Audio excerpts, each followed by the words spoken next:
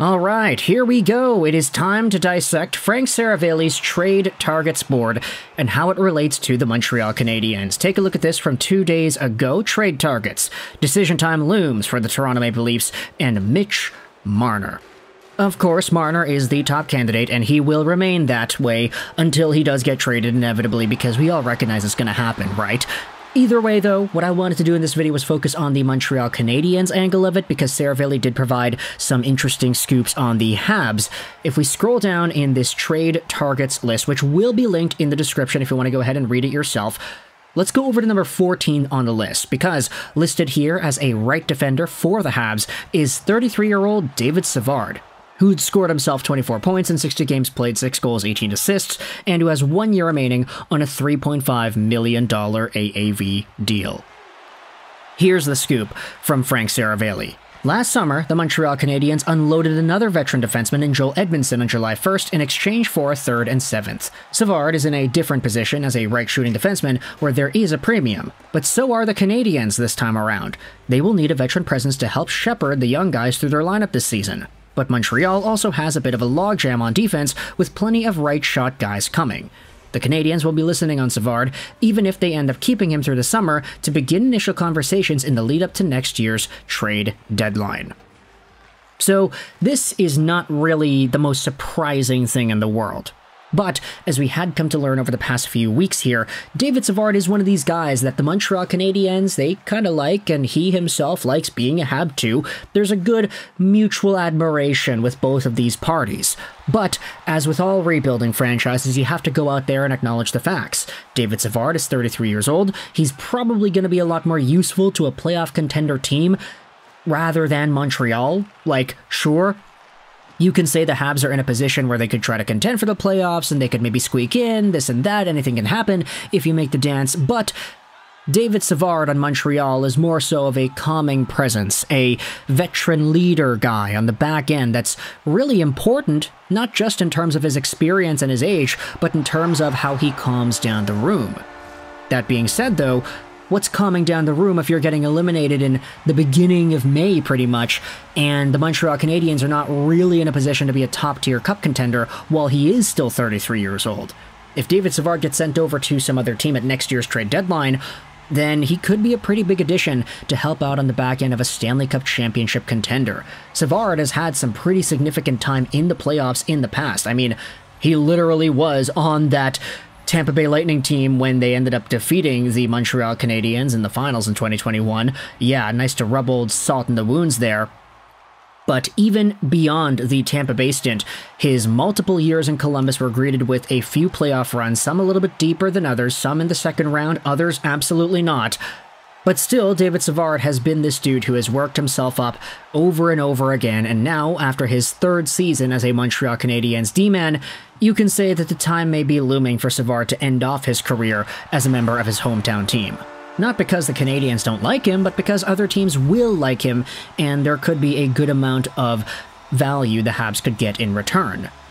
With that being said, this is just one of the two names that Frank Seravalli goes out there and talks about on this article. We can go over to the other one, scroll down in this piece to the number 18 spot, and you have 28-year-old center, Montreal Canadiens guy Christian Dvorak. 30 games played this previous season, 5 goals, 4 assists, 9 points. He's got one year remaining at $4.45 million AAV. Now, Ay, ay, ay, those numbers. Not great. 9 points, 30 games, I get it, you know. Dvorak was hurt, and we needed to be patient with this guy, and I get it, we were patient with this guy. I don't think there were any Canadiens fans that were really hating on Christian Dvorak for a good chunk of the year. And the fact that he wasn't playing, of course, that helped, but still, when he was in the lineup, he wasn't really that big of a talking point, even though a lot of people could acknowledge, yeah, he wasn't really up to speed. He wasn't really as productive as he could have been. He wasn't really this, he wasn't really that. But I think a lot of that is just because, yeah, he was hurt for so long that we don't really have our attention on him. And even when he is in the lineup, it's not like we're paying too much attention to Dvorak after all. Sure, the reason he was acquired by Montreal in the first place was because of the Jesperi Kotkaniemi offer sheet and all the compensation that Marc Bergevin and co. got at that point.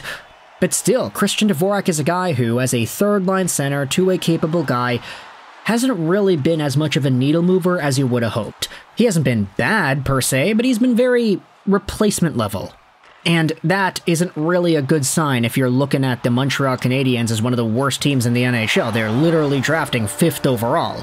The fact that they were like on the cusp of a playoff race for a good chunk of the second quarter of the year was kind of nuts, but either way, you know, baby steps, you gotta work your way up. Want to talk about the Frank Seravalli write up, though, here's the scoop. Christian Dvorak has struggled to stay healthy during his time in Montreal, missing 96 games over his last three seasons. He was acquired by the Marc Bergevin regime in September 2021 from Arizona in exchange for a first and second round pick, one of which is in this year's draft, 37th overall. It's clear that Christian Dvorak hasn't worked out with the Habs. Even when healthy, he hasn't been able to break through the ceiling that initially indicated promise in Arizona. Montreal will be moving on from him. The only questions are when, now or later, and how. Trade or free agency. So, Seravalli is going out there and suggesting that Christian Dvorak could find himself out of Montreal soon. If it is via a trade, then great, the Canadiens will get stuff in return. But when it comes to the contract, if he does not get traded, there isn't really a possibility the Canadiens re sign Christian Dvorak, and quite frankly, I'd have to agree. We had seen reports earlier yesterday that Tanner Pearson was already confirmed to not coming back with Montreal, and that is not a surprise, you know? I'm sorry, Tanner Pearson, but you're just not an effective NHL player anymore, or at least one that's worth taking away a younger player's roster spot for. And for Christian Dvorak, you could say he's pretty much the same thing. Not as old as Tanev, of course. I mean, or Tanev, Tanner Pearson, excuse me, completely different names, but Pearson was a guy in 2012 that was an overager. Dvorak was drafted in 2014, so it's a little bit different there, a little younger, but still the impact, you know, what you're getting out of these guys in the lineup. It's not really all too important nor significant, doesn't move the needle much. So for Christian Dvorak, the question is do you want to see this guy come back and take away a valuable roster spot for a guy like Owen Beck, for example? Or would you rather see Christian Dvorak ride it out with Montreal and eventually just leave up and away in free agency, go to some other team, sign a very cheap deal, and then have a Jonathan Drouin like resurgence like we are seeing with the Colorado Avalanche? I think, of course, you'd like to prefer to get some stuff back. Christian Dvorak isn't really the most valuable guy I'd say on the trade market, but at least getting something in return would be seen as a win. I mean, the Habs traded away a first round pick for him. I get it, it wasn't Kent Hughes that made that move, but still, going down the Marc Bergevin timeline and talking about stuff that bled into the Kent Hughes era, it would be kind of bad to trade away this first round pick and these assets for a guy that was really injury prone and whom the Habs would only trade away for significantly reduced value compared to what they got him for. So, Christian Dvorak, if they trade him, awesome. I just hope they end up getting a good amount of stuff in return. But if it doesn't look like a trade is going to come, then we'll probably see the end of Dvorak in the form of free agency. He'll probably just go somewhere else, maybe the AHL, or if he's trusted enough to get an NHL spot, maybe sign a $1 million deal elsewhere. But for now, I want you to let me know your thoughts in the comment section below. How do you feel about these two guys, David Savard and Christian Dvorak, being labeled as potential trade chips on Frank Seravalli's top 20 trade targets list? It will be linked in the description if you want to go ahead and read everything else yourself. But Montreal Canadiens fans, what are your opinions on Savard and Dvorak? I'd say, from my perception, Savard is definitely the more liked asset, the more valuable guy here. Christian Dvorak has just kind of fallen off a cliff, to be honest, and it's very unfortunate that he has done so because he still was a pretty good player earlier on. But Savard versus Dvorak, what do you think about the idea of trading these guys away? What are your thoughts on the roster spots that would be opened up by making some sort of a trade? And who do you think should fill that up? Is it an Owen Beck? Is it a Logan Mailloux? What are your thoughts on who should come up and replace those minutes? Let me know in the comment section below. It's all your floor. I hope you enjoyed this video 99. And bye.